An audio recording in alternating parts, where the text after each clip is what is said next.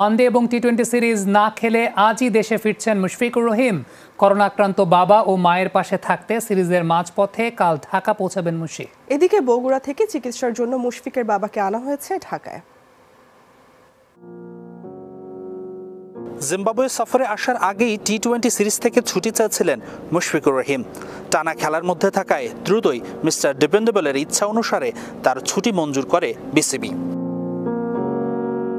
কিন্তু জিম্বাবুয়েতে এসে মত পাল্টান কঠোর পরিশ্রমী মুশি আগস্টে অস্ট্রেলিয়ার বিপক্ষে ঘরের মাঠে পাঁচ ম্যাচের টি টোয়েন্টি সিরিজের জন্য নিজেকে শতভাগ প্রস্তুত করতেই নিজ উদ্যোগে ছুটি বাতিল করে অন্তর্ভুক্ত হন জিম্বাবুয়ের বিপক্ষে টি টোয়েন্টি স্কোয়াডে।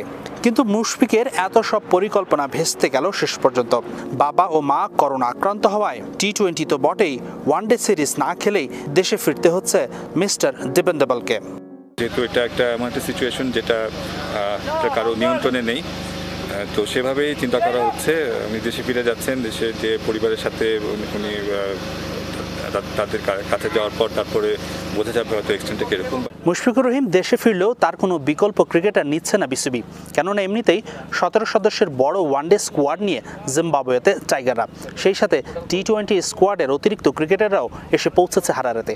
প্রয়োজনে সেই টি টোয়েন্টির অতিরিক্ত ক্রিকেটারদের মধ্যে যে কোনো কাউকে ওয়ানডে দলে অন্তর্ভুক্ত করা হতে পারে। এই কোভিডকালীন যে প্রবলেমটা যেটা হয় সেটা হচ্ছে সময় এবং সব কিছু মিলে কোয়ারেন্টাইন সব কিছু মিলিয়ে এখন রিপ্লেসমেন্ট প্লেয়ার আনাটা আসলে খুব প্র্যাকটিক্যাল না। মুশফিকুর রহিমের এমন বিপদের মুহূর্তে তার পরিবারের দ্রুত রোগ মুক্তি কামনা করেছে বিসিবি। সেই সাথে দিয়েছে পাশে থাকার প্রতিশ্রুতি।